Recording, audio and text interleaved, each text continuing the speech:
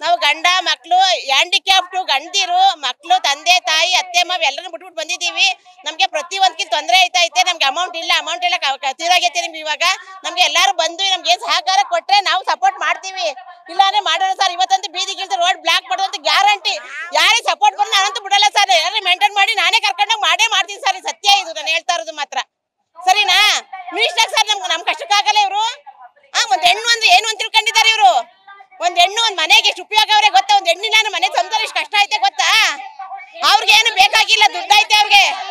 ನಮ್ಗೆ ಏನೈತೆ ಸರ್ ನಮ್ಗೆ? ಇವ್ರು ನಿಜ ಗಂಡ್ಸಾರೆ ಬಂದೇ ಬರ್ಲಿ ಸರ್ ಇವರು. ಸರಿನಾ?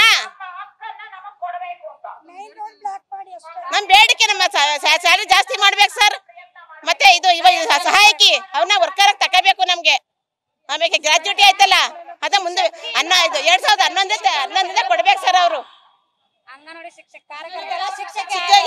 ಶಿಕ್ಷಕಿಯಾಗಿ ಪರಿಯಾಗ ಪರಿಗಣನೆ ಆಗೈತೆ ಈಗ ಏಳವ್ರನ್ನ ಪರಿಗಣನೆ ಆಗೈತೆ ಅಂತ ಅದನ್ನ ತೀರ್ಮಾನ ಕೊಡ್ಬೇಕು ಸರ್ ಅಷ್ಟೇ ನಮ್ಗೆ. ಆಮೇಲೆ ಸರ್ ಈಗ ಏನು ಮಿನಿ ಅಂಗನವಾಡಿಗಳು ಮೇನ್ ಅಂಗನವಾಡಿಗಳು ಅವೆ ಮಿನಿ ಅಂಗನವಾಡಿಗಳು ಅವಲ್ಲ ಅವನ್ನ ಮೇನ್ ಪರಿಪೂರ್ಣ ಅಂಗನವಾಡಿ ಕಾರ್ಯಕರ್ತರನ್ನಾಗಿ ಮಾಡಬೇಕು. ಯಾಕೆಂದ್ರೆ ಮೊನ್ನೆ ಈಗ ನಾವು ಅಂತಾರಾಷ್ಟ್ರೀಯ ಹೆಣ್ಣು ಮಕ್ಕಳ ದಿನಾಚರಣೆಯನ್ನು ಆಚರಿಸೋದು ಹೆಣ್ಣು ಹೆಣ್ಣೆಂದು ಏಕೆ ಪೇಳುಗೊಳ್ಳವೇರಿ ಕಣ್ಣು ಕಾಣದ ಗಾವಿಲರೆ ಹೆಣ್ಣನ್ನಲ್ಲವೇ ನಮ್ಮನ್ನೆಲ್ಲ ಪಡೆದ ತಾಯಿ ಅಂತ ನಾವೆಲ್ಲ ಕೇಳಿದೀವಿ. ಹೆಣ್ಮಕ್ಳನ್ನ ಇಷ್ಟೊಂದು ಶೋಷಣೆ ಮಾಡೋದು ಸರಿಯಲ್ಲ. ಏಕೆಂದ್ರೆ ಹೆಣ್ಣ ರಕ್ಷಿಸಿ ಉಳಿಸಿ ಅನ್ನೋ ಸರ್ಕಾರನ ಹೆಣ್ಮಕ್ಳು ಇಷ್ಟೊಂದು ಧರೆಗಿಳಿದು ಫುಟ್ಪಾತ್ ಅಲ್ಲೆಲ್ಲ ಮಲಕೊಂಡು ಇಷ್ಟೊಂತರ ಇದು ಮಾಡಿದ್ರು ಕೂಡ ಸರ್ಕಾರಕ್ಕೆ ಯಾಕೆ ಕೇಳಿಸ್ತಿಲ್ಲ ಅನ್ನೋದು ಗೊತ್ತಿಲ್ಲ. ಮಿನಿ ಅಂಗನವಾಡಿಗಳನ್ನ ಪೂರ್ಣ ಅಂಗನವಾಡಿಗಳನ್ನಾಗಿ ಮಾಡ್ಬೇಕು ಅನ್ನೋದು ನಮ್ಮ ಕೋರಿಕೆ ಸರ್. ನಾವು ಬಾಲಕೋಟ್ ಡಿಸ್ಟಿಂದ ರಬಕೈ ಬನಟ್ಟಿ ತಾಲೂಕಿನಿಂದ ಬಂದಿರೋರು ನಾವು ಜಾಯ್ನ್ ಆಗಿ ಐದೈದು ವರ್ಷಗಳಾಯ್ತು. ನಮಗೆ ಎಸ್ ಎಸ್ ಎಲ್ ಸಿನೂ ಪಾಸ್ ಆಗಿದ್ವಿ ಎಸ್ ಎಸ್ ಎಲ್ ಸಿ ಆಗಿದೆ ನಮ್ದು. ನಮಗೆ ಪ್ರಮೋಷನ್ ಬೇಕು.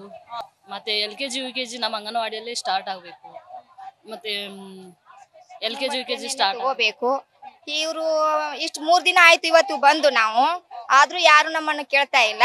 ಇಷ್ಟು ತಣ್ಣ ಜಳದಲ್ಲಿ ನಾವು ಮಾಡ್ಕೊಂಡಿದೀವಿ ಆದ್ರೂ ಏನು ಕೇರ್ ಮಾಡ್ತಾ ಇಲ್ಲ. ಇನ್ನು ಬೊಮ್ಮ ಸಾರಿಗೆ ಕಿವಿಗೆ ಮುಟ್ಟಿಲ್ಲ. ಹೇಗೆ? ಹೆಣ್ಮಕ್ಳಿಗೆ ಯಾವಾಗ ನೋಡ್ಬೇಕು? ಮೂರನೇ ದಿನಕ್ಕೆ ಧರಣಿ ಕಾಲಿಟ್ಟಿದೆ.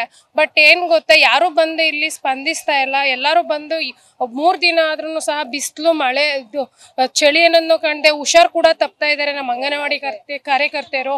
ಹೆಣ್ಮಕ್ಳು ಅನ್ನೋದು ಕಾಣ್ದೇನೆ ಸರ್ಕಾರ ಬಂದು ತಿರುಗು ಕೂಡ ನೋಡ್ತಾ ಇಲ್ಲ.